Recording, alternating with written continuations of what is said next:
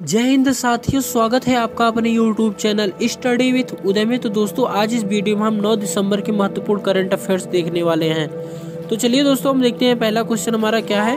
तो दोस्तों, जो पहला क्वेश्चन है कि आपको पता ही होगा कि देश के पहले chief of defence staff CDS general Bipin Rawat एवं उनकी पत्नी मधुलिका रावत के अलावा 11 अन्य सैन्य अफसरों, कर्मियों की हेलीकॉप्टर दुर्घटना में मृत्यु कहाँ पर हुई है? तो दोस्तों, ये हुआ है कुरनूर इलाके में, जो कि नीलगिरी जिला में आता है और तमिलनाडु में। इस दोस्तों, हेलीकॉप्टर का जो प्रकार था, वो था एम आई वी फाइव और जनरल बिपिन रावत का जो जन्म हुआ था, वो 16 मार्च उन्नीस को हुआ था और इनकी मृत्यु 8 दिसंबर 2021 को हो गई है।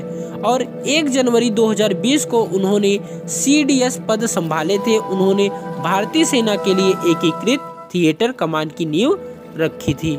आगे दोस्तों देखते हैं जो दूसरा क्वेश्चन है कि भारतीय क्रिकेट कंट्रोल बोर्ड ने भारतीय पुरुष टीम के लिए one day match T match दोनों फॉर्मेट के लिए कप्तान किसे नियुक्त कर दिया है? तो रोहित शर्मा को नियुक्त किया गया है। और टेस्ट क्रिकेट में भी रोहित शर्मा को उप कप्तान बनाया गया है। और दोस्तों, हम देखते हैं कि जर्मनी के नए चांसलर कौन होंगे? तो जर्मनी के जो नए चांसलर होंगे, वो होंगे ओलाफ सोल्ज। कौन होंगे? Olaf Scholz. और दोस्तों, जर्मनी की जो राजधानी है, वो है बर्लिन, जो कि स्प्री नदी के किनारे स्थित है। आगे देखते हैं, कैबिनेट के फैसले के अनुसार प्रधानमंत्री ग्रामीण आवास योजना कब तक जारी रखी जाएगी? तो यह 2024 तक जारी रखी जाएगी। और दोस्तों, आगे देखते हैं कि दिसंबर 2021 में किस देश में 12 साल पुरानी मम्मी मिली है? तो ये मिला है पेरू देश में और पेरू की राजधानी लीमा में मिला है 12 साल पुरानी मम्मी। आगे देखते हैं, आरबीआई ने वित्त वर्ष 2021-22 के लिए जीडीपी वृद्धि दर कितना अनुमानित की है। तो यह 9.5 परसेंट अनुमानित किया गया है। और आरबीआई का फुल नेम क्या होता है, आपको कमेंट बॉक्स में बताना है। आगे देखते हैं। फोर्ब्स द्वारा जारी शक्तिशाली महिलाओं की सूची में भारत के कितने महिलाओं को जगह मिली है? तो दोस्तों, भारत के चार महिलाओं को फोर्ब्स पत्रिका में जगह मिली है।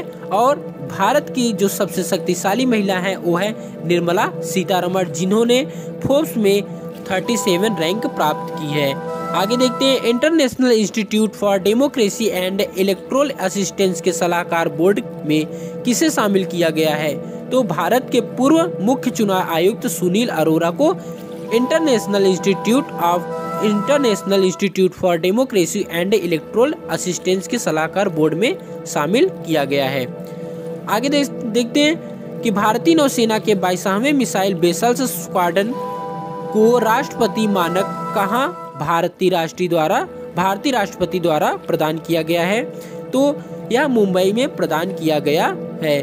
और दोस्तों, भारत के जो राष्ट्रपति हैं, वो है रामनाथ कोविंद। आगे देखते हैं, केंद्रीय मंत्रिमंडल ने 8 दिसंबर को केन बेतवा नदियों को आपस में जोड़ने की परियोजना को मंजूरी दे दी है। इससे किन किन राज्यों को फ़ायदा होगा तो इनसे उत्तर प्रदेश और मध्य प्रदेश राज्य को फ़ायदा होगा। उत्तर प्रदेश की राजधानी दोस्तों क्या है? लखनऊ है, जो कि गोमती नदी के किनारे स्थित है। और यहाँ के जो सीएम है, वो है योगी आदित्यनाथ और गवर्नर आनंदीबेन पटेल हैं। आगे देखते हैं कि इस परियोजना से 103 मेगावाट पनबिजली और 27 मेगावाट सौर ऊर्जा का भी उत्पादन किया जाएगा। इकतीसवा ब्यास सम्मान किसे दिए जाने की घोषणा हुई है? तो इकतीसवा जो ब्यास सम्मान है ये असगर वजाहत, जो कि हिंदी के एक प्रसिद्ध लेखक हैं, इन्हें दिए जाने की घोषणा की गई है। और ब्यास सम्मान दोस्तों के के बिरला फाउंडेशन द्वारा दिया जाता है। दोस्तों, वीडियो में अंत तक बने रहने के लिए आपका बहुत बहुत धन्यवाद। Thanks for watching this video